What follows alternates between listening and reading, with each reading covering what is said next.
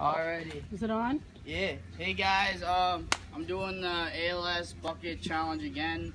It's uh, Red Sox just started up again, so I'm doing it again. Uh, got a bucket right here filled with ice. You guys, you guys see? You guys see? I think I put way too much water in. You're gonna be soaking wet. Take your hat off. Your shoes are gonna turn into mud. Alright, well, uh, Take your shoes off. uh, family friend Pete Shoes? Shoe, take the shoes? Yeah, because you're gonna be walking in the dirt mud. Put them up on the deck. On that deck. So this is for uh, Pete Frates and all those people. Can we with do it in the driveway? Let's do it in the driveway. No. it's Yeah, you're gonna make a big good. mud Is it puddle. Good? Can you see it?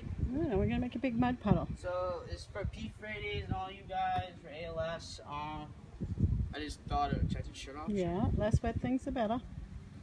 And move away from my phone. belly. What the heck? My phone's right behind you, so move. Move. Alright. Okay, go over more. Go right over there. Are you ready? So, uh, Red Sox just started up, so I'm doing this Ice Bucket Challenge. Pete Frates, family friend, Colin. Uh, I recommend Justice, Ryan Fergaris, Nikki Anthony.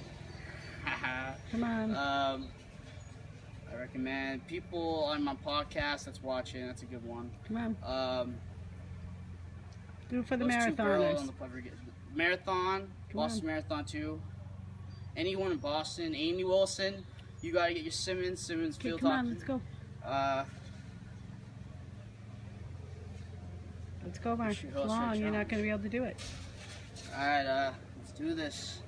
Uh, Ice Bucket Challenge, ALS. It's a really bad disease, and um, I'm probably gonna donate money again anyway, because it's for Pete. Alright, so ready, set, go.